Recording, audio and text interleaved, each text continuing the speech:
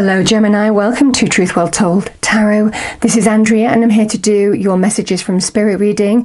It will be for May 2021 for the sign of Gemini, Sun, Moon, Rising, and Venus. So let's get straight into your reading. And remember, Gemini, these can be just messages. So let's see what we have for you. I've pre shuffled all the decks. So we'll pull a few oracle cards and then go into the tarot cards. Message for Gemini, please. Angels, spirits, guides. Message for Gemini. Thank you. Your card has fallen out actually. And we have re-evaluate your priorities in May 2021. Some re-evaluation here.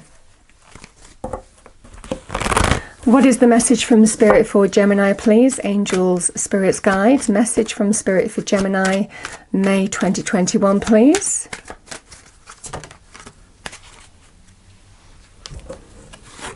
I like this, you know, I like it going with this message because nature is a great clarifier. It's a healing energy, but it also enables us to bring perspective. So if you have if you need some perspective, it's an energy of taking time out, connect to nature, Gemini. Um, whatever that means for you, whatever you like doing, because it will make all the difference and bring a new level of clarity your way. So we have nature. This is a time to absorb the healing properties that nature has to offer. Your mind, body, and soul need nourishment, energy, revitalization, and strength. Nature has much to offer, so take this time to connect and spend some quality time outdoors. Okay, Message from Spirit for Gemini, please, angels, spirits, guides for May 2021. Okay, I've got a few cards there. Let's go with it because they turn over for a reason. Yeah, you see, again, this energy thing. We have number 19, Guardian, guard your energy. I have number six, birth of creation. There's potential growth. And we have number 16, expansion. Educate your mind and senses. I mean, it feels like sowing new seeds here. Or certainly focusing on what is going to bring growth to your life now. Okay, so what do we have? Message for Gemini. Yeah, we have Llama. Set clear boundaries and enforce them. Archangel Chamuel. So those are the overarching messages, Gemini. I'm going to pull three tarot cards and see what we have for you. So what is the message for Gemini, please? Angels, spirits, guides. Message for Gemini. First card is the message from Spirit. So what do we have for Gemini, please? Angels, spirits, guides. Message for Gemini. May 2021. That flew out. So I have strength. Card of Leo. Three of Swords. Interesting, I'm pulling two cards there. And we have the King of Cups and the High Priestess.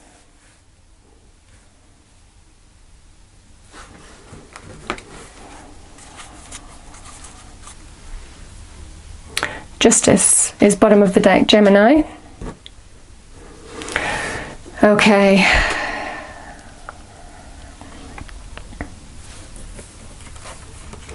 So, Spirit is telling you that you are strong enough. For those of you who doubt your strength, for those of you who doubt courage to face a fear or face challenge, there is a message of whatever is coming your way or whatever you're dealing with, um, you are absolutely 110% strong enough to deal with this. This is about connecting to that inner strength, that inner resoluteness to overcome any fear or challenge that you face. Um, so, no, the Spirit is telling you or recognizing that you are strong enough. Know that you're strong enough, that when you're in your power, it is infinite represented by the infinity symbol. When you connect to your inner power, it feels there is nothing stopping you from overcoming and bringing positive change to your life. You know, the eight is about mastery. When something needs to be mastered, when we need to bring positive change to our life, this is about being strong enough and resolute enough to do that. It's with regard to this, the Three of Swords. There's levels to this card, Gemini. So, you know, it is whatever what is relevant for you. You know, we know that this can be the heartbreak card. This can be a, a difficult truth coming to light that cuts you deeply. Uh, this can be disappointment. Ultimately, the Three of Swords is the test of a relationship in whatever context. Something that has tested or wounded or, you know, uh, caused something. Uh, some test of a relationship. So this is saying that you are more than capable of dealing with this. This is you're going to be your finest moment where you rise to a challenge and have the opportunity by being in your power to overcome it. Connect to nature where you need to to get perspective. There is absolutely an energy of guard your energy. But it's interesting, this birth of creation, the potential growth it, it feels in this situation, in, in our most testing times, sometimes that is the catalyst for us to take control of our lives and influence our future, you know?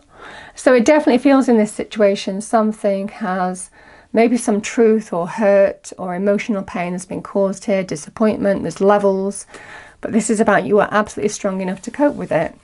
And you know, there could have been some something going on beneath the surface, you know, somebody keeping something to themselves and maybe something came out here.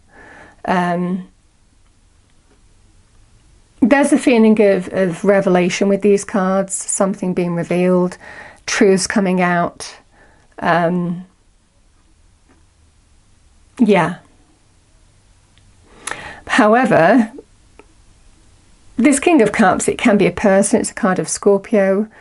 Um, this King of Cups, male or female energy, as an energy, the King of Cups is someone who understands how to rise above emotional situations and master uh, master their emotions you know rise above situations and this is what you're guided to do with the High Priestess. So, definite energy, you're being watched over every step of the way by God, the universe, the divine. But there could have been some secrets here, some.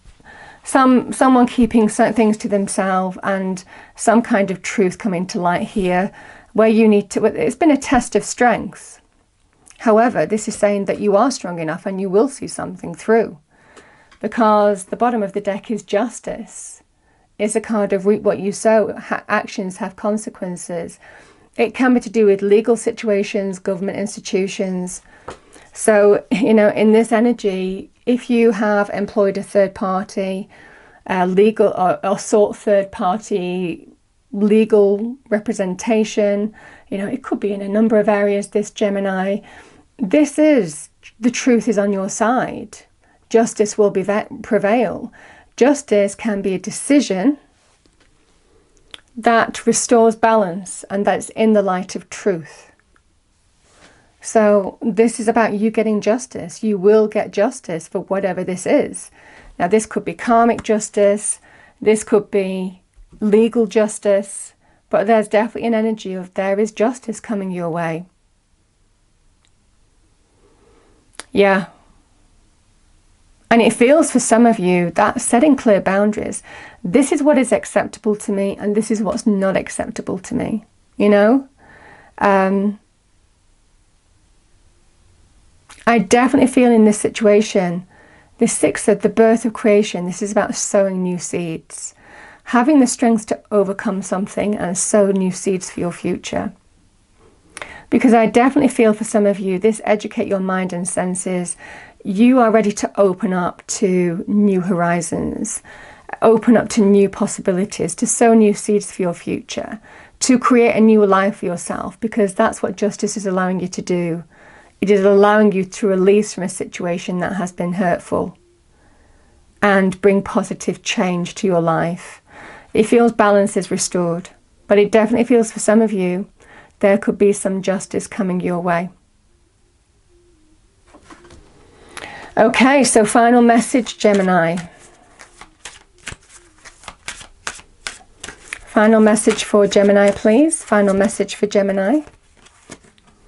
Yeah, you see, take control of the situation. You know, we know you can do this.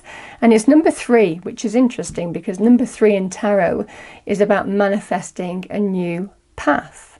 It's about manifesting something new. So it feels for some of you, you're able to take the negative and turn it into something positive. There's new potential growth here. It feels absolutely lovely, this reading, Gemini, but it does feel like you've been tested. In whatever area this is meant for you. We have relationships in love, we have relationships in family, siblings, you know, work, and so on. So, however you've been tested, there is definitely this energy of, of truth will prevail, justice will prevail. You will get the justice that you seek. So I hope you enjoyed the reading. If you did, please do like, share, and subscribe. I hope it's a wonderful month for you, and I will see you next time. Thank you.